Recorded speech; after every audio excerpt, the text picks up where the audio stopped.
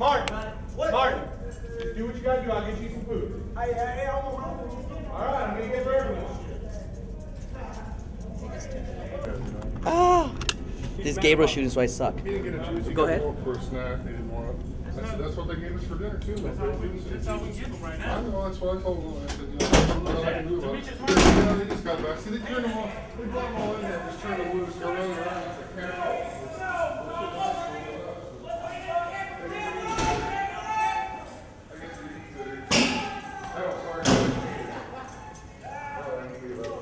Never mind. What is Martin? What's wrong? What's up? What's wrong?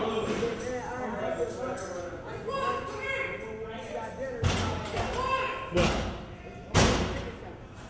That's all they had. Hmm? Didn't you eat before you left? You only get one meal. You get the meal when you come back. You could. What we could have did was give you a set. We gave you a hot tray. You got what you got, man. Food service is closed. No. All right. All right. You need some what? Some shower shoes. Oh, I got everybody's shower shoes done. Don't do that, because you'll lose your level. What level are you? Come toward hostage. All right. You gonna sit down in the box or what? Well, I'll, I'll be fine. I'll be here all night. All right.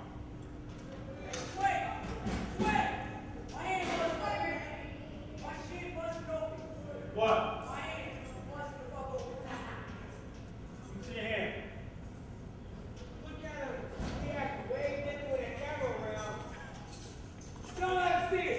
Hey, Albert.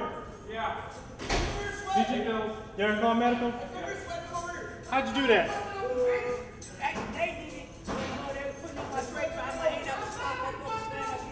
Oh, you was the other guy holding the cop, car for hostage. Yeah, he's the one that I kept my hand on. Make sure you, you document it on here. I, I, I got the time though. Oh, do you? I It's, document. uh, it was about 5:30 when I noticed. When I That was told 5:30? Control. 5:30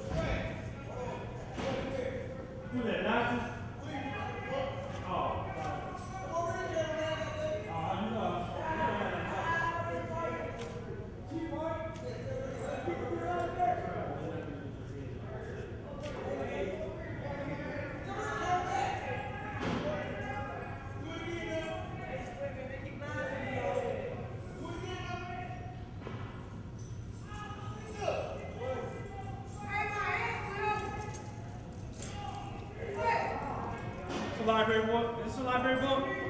Library book.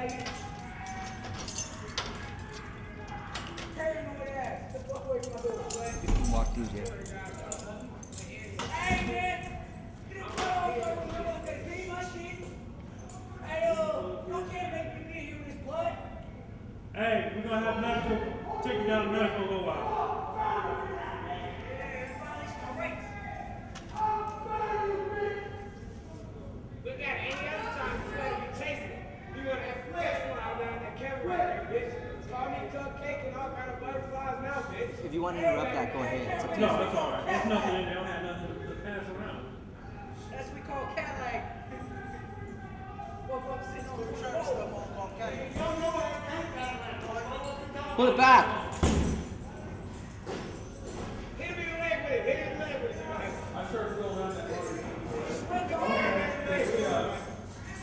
Hit the leg